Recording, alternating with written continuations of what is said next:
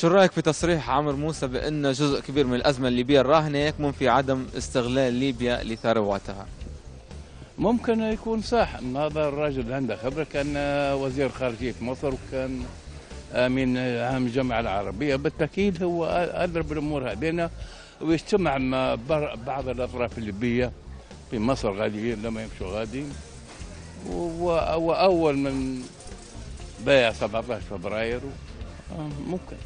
من غلط هو السؤال هذا. كيف تصريحه؟ خاطئ تصريحه خاطئ. الأزمة الليبيه آه. في عدم استغلال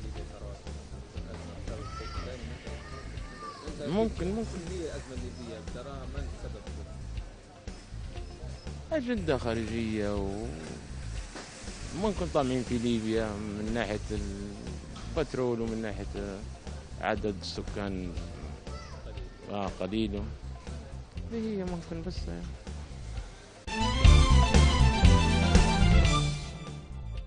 والله يعني عدم استغلال ليبيا لثرواتها ظروف غير مواتية من التصريح مش مش ما أعتقدش. لأن نحن غرد استقر الأمن والأمان إن شاء الله.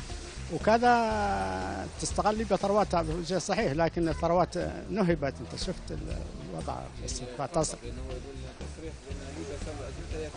آه ابدا ابدا. يعني عدم استغلال ليبيا لثرواتها وقال لك ولكن هذا خطأ مش عدم استغلال ليبيا لثرواتها ولكن مأساة ليبيا في ال في ال في, ال في عدم الأمن والأمان والحاجات هذه فكيف ثروات وأنت مش- مش فتصريح صراحة مش مش موافق للكلام. والله تقدر تقول شيء هذا حتى هو مقرر.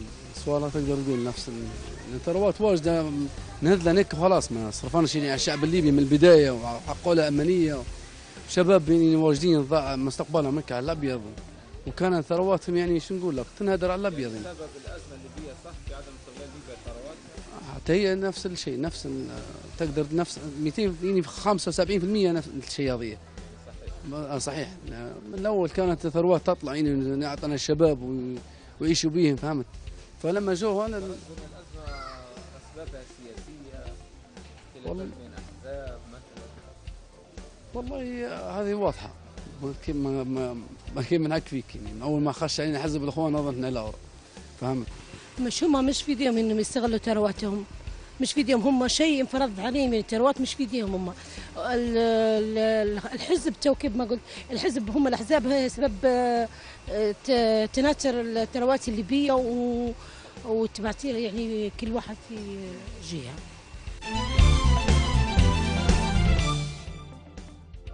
ما ما أعتقدش إن هذا صحيح. يعني أعتقد إن في أسباب آه، كثيرة آه، هي اللي ادت للأزمة هذه. وقد يكون من اهمها هي التنحر على على السلطة والتنحر على على ثروات البلاد نتيجة وجود ال- ال- السلاح في كل مكان والميليشيات وكل واحد يبي يبي يستغل هذا ال- الوضع هذا. قد يكون إن في جزء صحيح لكن أعتقد إن ال- ال- المشكلة الأكبر هي هي التنحر على السلطة وال واستغلال البلاد واستغلال الثروة نتاع شكرا. لا هو السؤال هذا مش موضوعي لأن آه، أنت لما تقدر متحكم في ثرواتك. هو تصريح. هو باقي ماشي يعني حتى لو مجرد تصريح. أنا بنعلق على التصريح. إذا كان ثرواتك أنت مش في إيديك مش تحت يدك. عرفت كيف؟ وما عندكش سلطة عليه. كيف كيف تتحكم فيه؟ في مصادر داخلية وفي مصادر خارجية. باي هم اللي مسيطرين على الوضع. هم اللي مسيطرين سواء كان من الناحيه السياسيه سواء الاقتصاديه هم اللي مسيطرين عليه. فأنت باش تبي تقول لي أنت اللي كليبي ماكش مسيطر على ثرواتك وعائداتك النفطية المفقودة أصلا فما ما أنت ما تلومنيش. كمواطن ما تلومنيش. لوم الجهات المسؤولة. أول واحد تلومه هي هيئة الأمم المتحدة. إذا هذه الجهة المتهم الأول والأخير. أما الباقي هم متعاونين بس. لكن الأمم المتحدة لما تصدر هي سبب الأزمة. والله نقول لك أنا بالنسبة للثروات الليبيين ما طقه ما حقوهنش ما طقوش بشيء يعني. عرفتوا لو الثروات توزعت بالعدل ما كانش في مشاكل. لكن كل واحد قاعد في مكان وحايز عليه اللي عنده وهذه سبب المشكلة. يعني بصراحة الجماعة مش مقصرين. بصدق يعني لو الثروة توزعت بالعدل وبمساواه على الشعب الليبي صحيحة. ما فيش أزمة. شو ما عندناش مشكلة أنا. مش يقول لك مشكلة بين فلان وفلان لا لا مش مشكلة بك. يا سلام. قال لك. في بكثرة. يا سلام. صراع سلطة. هو سبب ما هو قلت لك ال ال الأزمة اقتصادية في الأول. عرفتوا تخيل شعاراتنا قدام الليبيين يعني يقول لك بحبح يا كيبره والحل عطيب معناها الاقتصاد. صح ولا لا؟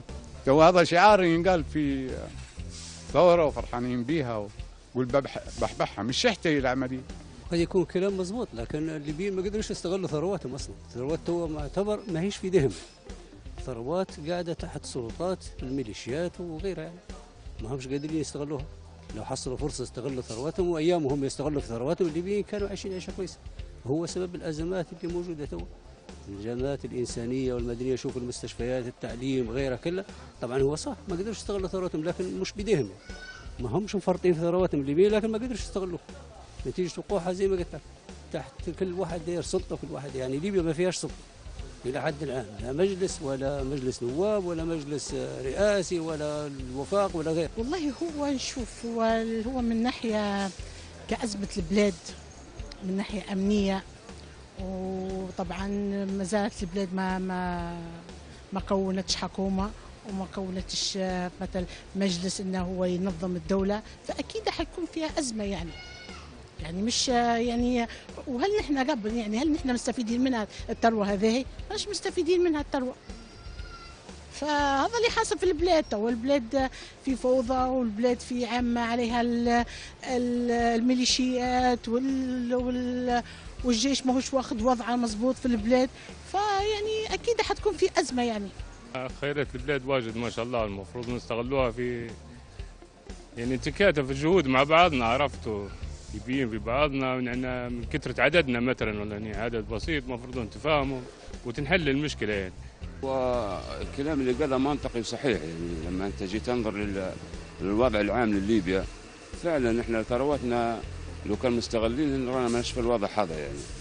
لكن ما يتحكمش فينا شخص مثلا غير شرعي يسكر الميناء المواني الليبية ويخسر ليبيا مئات المليارات أو 100 مليار تقريبا. وبعدين نحن قاعدين خاشين في بعضنا حروب وقتل وإرهاب وتفجيرات وبرنامج. يعني كلام منطقي. بال بال بالصريح العبارة يعني ما فيش يعني الشمس ما تغطش بالغرباء يعني. والله نحن بكون عندنا ثروات عندنا ثروات. وثروات آه، لا تعد يعني. ولكن من المشاكل اللي سيرين سايرة عندنا ومن المواضيع اللي سايرة عندنا ما يعني واحد من ثرواتنا البترول. اللي اليوم وأمس في جدال عليه. شايفين الشيء هذا مع السيد جدران ومع الكبرى. ترى بأن إبراهيم جدران رئيس حرس المنشآت النفطية السابق المقال طبعا هو سبب من أسباب الأزمة الحالية في ليبيا. نعم. نعم هو سبب من أسباب الأزمة الحالية في ليبيا. المشاكل اللي في ليبيا أحد أسبابها هو إبراهيم جدران. يعني مشاكل يعني. شوف شوف سعر الدولار اليوم كم بيكون يعني. سعر الدولار اليوم يقارب عن 4 4 دينار و80 قرش. سعر سعر الذهب اليوم 180 دينار. يعني كل المشاكل